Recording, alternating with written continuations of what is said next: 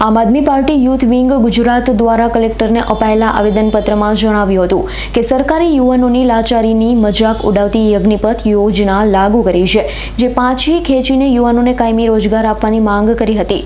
કહ્યું હતું કે સરકારે વિચાર્યા વિના જ લીધેલા અસંખ્ય નિર્ણયોના પરિણામે દેશમાં બેરોજગાર યુવાનોની સંખ્યા દિવસે ને દિવસે વધી રહી છે. બેરોજગાર યુવાનોમાંથી અસંખ્ય યુવાનો એવા છે કે જેઓએ ઘણા સમયથી સેનાની ભરતીની રાહ જોઈને બેઠા હતા અને એ માટે તૈયારીઓ પણ કરી રહ્યા હતા. આવા સમયે યજ્ઞિપથ યોજના જેવી હાસ્યાસ્પદ યોજના લાવી સરકારના બેરોજગાર યુવાનોની લાચારીનો મજાક ઉડાવી રહી છે. માત્ર ચાર વર્ષની રોજગારી પછી જે પંચોતેર ટકા યુવાનોને છૂટા કરાશે, તે યુવાનોનું ભવિષ્ય શું? વળી દેશની આ બાબત સુરક્ષા અને સલામતી સાથે પણ જોડાયેલી છે.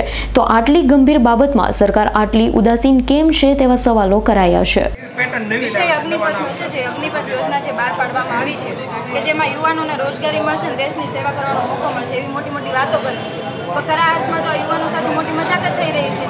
આજની આ સરકારમાં અત્યાર સુધી જેટલા પણ નિર્ણયો લીધા એમાં એક વખતે લોકોનો વિરોધ જોવા મળ્યો છે. પહેલાં કિસાન આંદોલન કર્યું હતું. ખેડૂતોના કાયદાઓ પાછા ખેંચવા પડ્યા હતા ભીડ પડી એટલે. અને હવે આજે યુવાનો સાથે મજાક કરી રહ્યા છે. અગ્નિપથની યોજના આપી. અને એમ કહ્યું કે ભાઈ અમે યુવાનોને રોજગારી આપશું, દેશની સુરક્ષાને સેવા માટે આપણને ફાયદો થશે. પણ ચાર વર્ષ માટે શા માટે? તો આપવી જ હોય યોજના બહાર પાડવી જ હોય તો કાયમી માટે કરો. હવે આજે સાડા સત્તર વર્ષની ઉંમરથી લઈને એકવીસ વર્ષની જે ઉંમર મર્યાદા રાખી છે વય મર્યાદા રાખી છે તો પછી શું એ વિદ્યાર્થી જે અત્યારે ભણવાની જે ઉંમર છે ગ્રેજ્યુએશન કમ્પ્લીટ કરવાની ઉંમર છે એ સમયે એ પોતાનું ભણતર છોડીને આગની પર યોજનામાં જોડાશે દેશની સુરક્ષામાં જોડાશે. અને પછી ચાર વર્ષ પછી એમને કાઢી મૂકવામાં આવશે કે તારી જરૂર નથી. તો આજે આ યુવાનો બેરોજગાર ઓલરેડી થઈ રહ્યા છે એમાં ચાર વર્ષથી ભણશે નહીં. ગ્રેજ્યુએશન કમ્પ્લીટ નહીં કરે જ્યારે એની ઉંમર જતી રહેશે પછી એમને કાઢી મૂકવામાં આવશે. તો કા- તો આ અગ્નિપથ યોજના છે એને કાયમી કરવામાં આવે. અને કાં પછી એવી કોઈ નકલ અ, નિયમો કે નીતિ વિષયક નિર્ણયો લેવામાં આવે કે જેના કારણે બધા યુવાનોને હરખો ફાયદો હવે ચાર વર્ષ પછી પચીસ ટકા યુવાનોને કાંઈ બી કરી દેવાના તો પચીસ ટકાનું શું? પચીસ ટકાને પછી કોઈ સરકારી નોકરી કે કોઈ પેન્શન યોજના કે કોઈ જાહેરાત છે? નહીં. પછી એનો કોઈ મતલબ નહીં. તો યુવાનો સાથે આવો અન્યાય શા માટે ને આવી મજાક શા માટે? જ્યારે આખો દેશ, ભારત દેશ આપણે એમ કહીએ છીએ કે યુવાનોનો દેશ છે ના છે એ જ યુવાનો સાથે મજાક કરવાનું.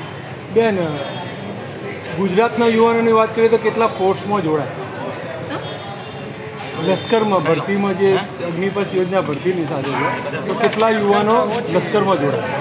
હવે આમાં એનો તો અમે વિરોધ કરી રહ્યા છીએ. યુવાનો પાસે અત્યારે કોઈ સ્કોપ જ નથી કે પોતાનો સમય અને એવી કોઈ યોજનામાં આપી શકે. હવે જે યુવાનો આપણે જેમ વરસાદની રાહ જોઈને જેમ ખેડૂતો બેઠા હોય છે એવી રીતના યુવાનો એક રોજગારીની રાહ જોઈને બેઠા હતા કે ભાઈ ચાલો આ સરકાર કાંઈ સારી એવી રોજગારી બહાર પાડશે સારી એવા યોજનાઓ બહાર પાડશે. અને યોજના બહાર પાડી તો શું? અગ્નિપથ યોજના કે જેનો કોઈ સરકારે કહ્યું દસ લાખ યુવાનોને રોજગારી આપવાની. તો કેટલા છે તમે શું આવી રીતના તો પહેલા પણ કહ્યું હતું કરોડો યુવાનોને રોજગારી આપશે કરોડોમાંથી દસ લાખે પહોંચી ગયા બે કરોડમાંથી દસ લાખે પહોંચી ગયા. આવનારા સમયમાં એમ કહે છે ભાઈ એક લાખને અમે પણ રોજગારી આપવી અને મોટી મોટી વાતો કરવી બેમાં ફરક હોય છે. જો રોજગારી અપાતી જ હોય તો આજે કેટલા લાખો યુવાનો બેરોજગાર પડ્યા છે.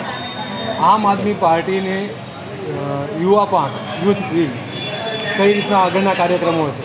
અમે અત્યારે કલેક્ટર કચેરીએ કલેક્ટરશ્રીને વિનંતી કરીશું અને આવેદનપત્ર આપીશું. છતાં પણ જો કોઈ સોલ્યુશન નથી આવતું, કોઈ નિર્ણયો લેવામાં નથી આવતા, તો આવનારા સમયમાં અમે નીતિ વિશે નીતિ, રણનીતિ ઘડીને આગળના આંદોલનોનો કાર્યક્રમ કરીશું.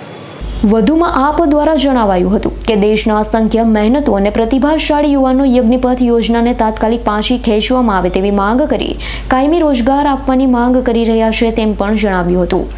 Bureau report S nine news Surat.